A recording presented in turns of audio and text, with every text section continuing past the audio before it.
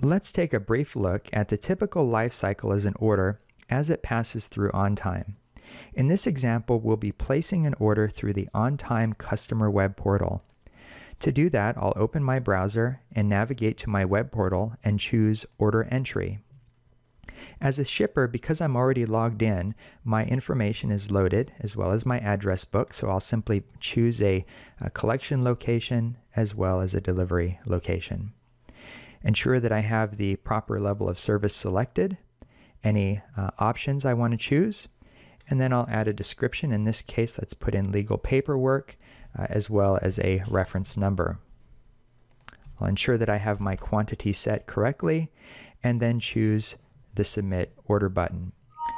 Now at this point the order has been submitted into the system and as a shipper I have access to printing shipping labels and other paperwork that I may need. Now let's pause there as far as the shipper is concerned and uh, transfer to see what it looks like from the dispatcher's point of view uh, at this moment.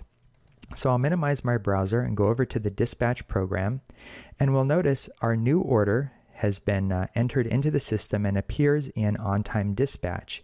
In this case, it's order number 404494. To assign this order out to a driver to dispatch it, I very simply choose from a list of the drivers that I have up top here and uh, drag them onto the order that needs to be dispatched. Uh, once I have that assignment made, I can confirm. And this confirm action uh, not only sends it to the mobile app on the uh, driver's uh, phones, but it also sends them alerts and text messages as configured. You also notice that the order no longer appears in my dispatching board because uh, it has been assigned out. At this point, let's um, minimize that and assume the role of a driver to see what they would view. So I'll open up a web browser here that um, gives us a view of what the driver may see on his phone. Uh, logged in as a driver, I can um, uh, refresh this and I'll see that I have one order uh, pending. Uh, that is the order that was just dispatched to me. So if I click there, I will see that same order number 404494. If I click on that, it'll give me the details of uh, the order, uh, what I need to be doing. And uh, let's go ahead and assume that uh, we're at the point of pickup, so we can choose mark as picked up. Uh, we can specify the name of the person that we've received the shipment from, uh, choose a status level, and choose OK. Now at this point, the order is considered in transit. And if I go back into one of the desktop programs, uh, we can see how that information is updated in real time. In this case, let's take a look at the uh, management program and notice the change that was made there. So if I go into the tracking view, we'll see our order number right here at the top and the status has indeed been switched to in transit. Uh, so we start to see that no matter what role uh, that we're in, uh, we're, we're seeing this information updated in real time. In fact, if I go back over to my web portal, uh, from the shipper's point of view, if I go to the tracking view and look at that order, uh, we can see not only do I get real-time updates, uh, but also details, status updates as to uh, the progress of my shipment. Okay, so let's um, move back now to the uh, driver's phone again.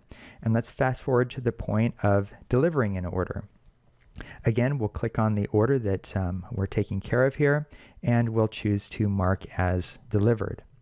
Notice that some information is already populated here uh, based on what the system is able to discern. We'll go ahead and mark it with a status label of finished, and uh, we can also collect a signature here. Uh, so we'll go ahead and do something like this hit save, and then we will click OK to submit the order. At this point, as a driver, my work is done. I have zero orders assigned to me, uh, which makes it very clear uh, that I've completed my work. In fact, if I go back to the home page, again, we see my orders has um, uh, no orders remaining for me. Let's go back to the management side and look at how we might bill this order out to the customer at this point. Uh, so again, if we're in the tracking view of the Management Suite program, we'll notice our order at the very top here. Status has been changed to completed. If I double click on it, we could look at some of the details. For instance, the locations tab will give the exact dates and times that the drivers arrive to uh, perform the pickup or delivery. And then if we look at the signature uh, tab, we'll even get a view of uh, any signatures or CODs that were collected. To build this order out, let's go ahead and move over to the billing area and choose unbilled orders. At the top of our list again is the order that we've completed out. This list will show all orders that have been completed or canceled billable and are ready to be placed on invoices. To place this order on an invoice, we'll very simply select it, click the Add to Invoice button, and then choose OK. The order disappears from that list. That's the indication to our uh, accounting person that the order has been invoiced and taken care of. If we switch over to the invoices view, our new invoice number 601 appears here at the top. And if I right click and choose preview, we can see uh, what that invoice might look like.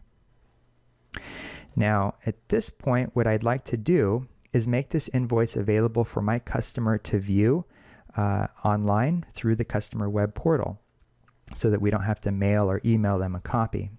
To do that, I open the invoice and choose Make Available Online. I'll go ahead and uh, save and close this window. And now if I go uh, over to my customer web portal and we'll move to the invoices view. Here is order number 601 or invoice number 601 uh, with all of the details displayed there. So that's a quick view of how easy it is to place an order through the system and how quickly and in real time things uh, are able to synchronize between all the individuals involved in completing a shipment. If you have more questions about OnTime, please do reach out to our sales department at ontime360.com. Thank you.